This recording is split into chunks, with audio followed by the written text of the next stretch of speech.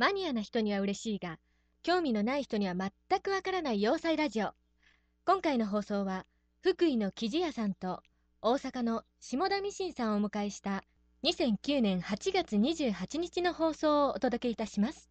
じゃあ、あの、はい何でも聞いてください。はーい。記事のことで、一茶店とかはすぐほら、裏表がわかるじゃないですか。ですけど、ジョーゼットとか、切ったりしたら、こう、裏表がわかりづらい記事とかありますよね。ああいうのはですね、こう、簡単に見分ける方法とか、この記事は裏表とかないんで、まあ、わからなくなったらどっちを使っても大丈夫ですよっていう記事とかあるんですかね。基本的に平織りとか表裏ない生地は、どっち使ってもらっても基本的には OK です。サテンなんかでも、はい。あの、バックサテンって言って、はいわざと裏使う人もいらっしゃるんですよ。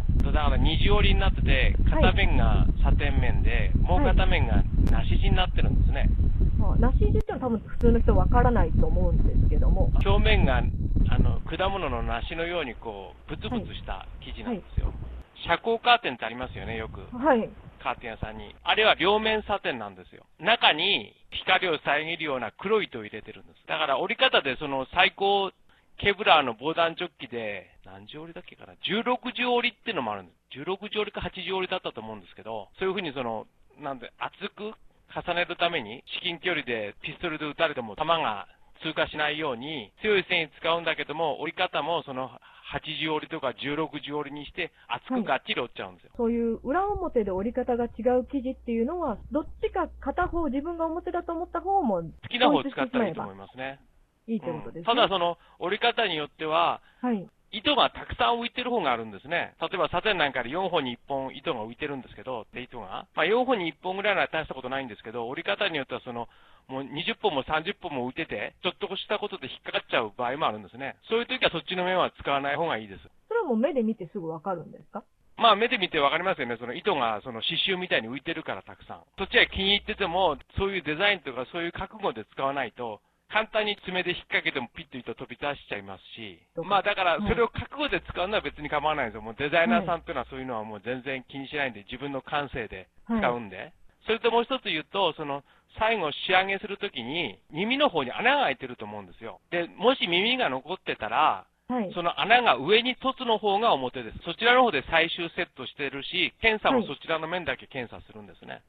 河川というのは、そのアイロンがけすると、こういうとこに気をつけないと、こう失敗するよとか、こういう風に使った方がいいですよっていう形でいうのがありますか？あの、河川っていうと2種類あるんですよ。で、それ混同されてる、専門家の間でも混同されて使ってたりするんで、基本的に言うと半繊維って言うんですけど、例えば世の中にある綿とか、パルプの材料を一旦溶かして、糸にしたものがその再生繊維って言うんですけど、レーヨンとか、ベンベルグっていうやつですね。はい。ああいうのは麺と基本的に一緒なんで、高い温度でアイロンかけて大丈夫ですし、逆にその高い温度でアイロンかけないとアイロンかからないです。で、もう一つ、合成って言うんですけど、石油とかそんなんから作る。そちらは熱に弱いんで、基本的に低温以下。だけど、その、はいまあ、シワがきついとちょっと取れにくいんで、中温ぐらいまで上げてアイロンかけます。例えばサテンだったら、サテンの裏からアイロンかける。うん。だから、例えば使いたい面の裏からアイロンかけた方が、使いたい面がを傷めないし、どうしてもアイロンかけると目に見えないくらいこう、扁平になっちゃうんですね。目目に見えない程度で。だから、その裏からアイロンかけた方がいいです。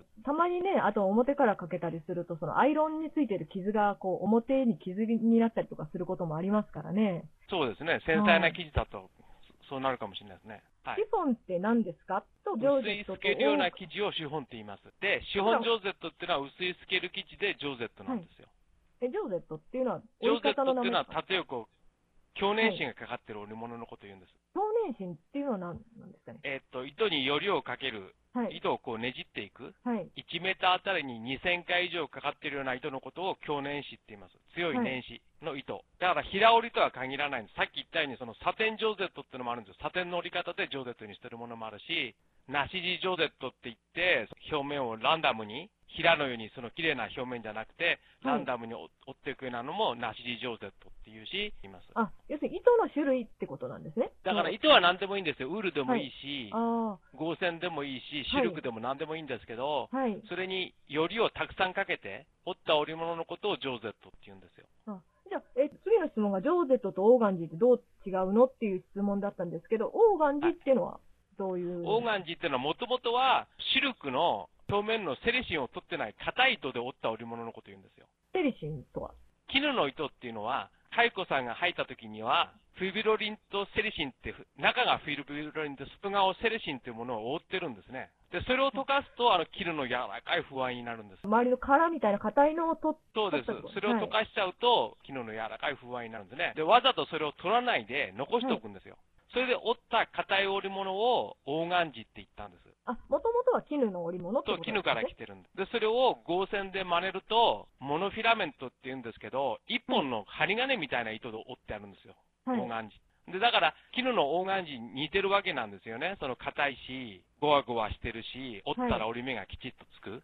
で、硬いからその荒こることできますよね。だから透ける。絹のオーガンジに似たものを合線で再現したのがその合線のオーガンジで。で、もう世の中にあんまりもう合線以外のオーガンジってないんで、え、シャンブレーって何ですか？シャンブレっていうのは、例えばですね、あの、2色の糸を縦糸と横糸に配列したりし、縦糸を例えば赤の色で折って、横糸を青の色で折ると紫に見えるんですけど、そうするとですね、見る角度によってですね、赤と青が混ざって見えちゃうんですね。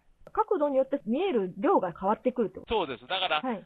例えばその横糸に青糸使ってれば、横糸がたくさん見てるときは青っぽく見えるし、縦糸の赤いと色がお、糸が多く見えれば赤く見えちゃう。で、こう、斜めから見るとその2色の濃淡に見えるんで、日本語で玉虫とも言います。だけど、その、シャンブレの中にも黒と白があるんですね。で、それはシャンブレにできないんで、白の中にちょっとでも黒あるとググレーに見えちゃうんでね、灰色に。はい逆に黒の中にちょっとでも白があったらもう、やっぱり灰色に見えちゃいますよね。だからシャンブレージョーゼットって言っても、色の染め方によってい、わざと一色に染めたる色の種類もあるんです。生地の中で。そのはいシャンブレ、例えばシャンブレージョーゼットって生地の中で、はい。白と黒はもう絶対に一色にしか見えないんですよ。二色の濃淡には見えない、見えようがないんですよ。だけども、例えば、縦糸を青に染めて、横糸を赤に染めてあれば、シャンブレに見えますし、それから縦糸と横糸の区別だけじゃなくて、縦横に色を配列することによって、あの別の見せ方させたり、例えば縦に2色使って横糸を1色、3色シャンブレとかって言うんですけど、それもそれはそれでまた非常に味のある綺麗な色に見えちゃうんですよ。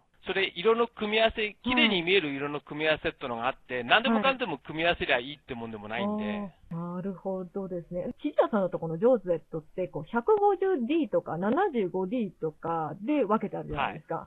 この D ってはい多分普通の人わかんないと思うんですけど、そうですね。あの、D はデニールのことです。ストッキングとかのあれですかね。そうです、そうです。ストッキングで40デニールとか20デニールとかって言うじゃないですか。あれはあの、9糸の太さの単位で、9000メーターあたりのグラム数なんですよ。重さなんですね。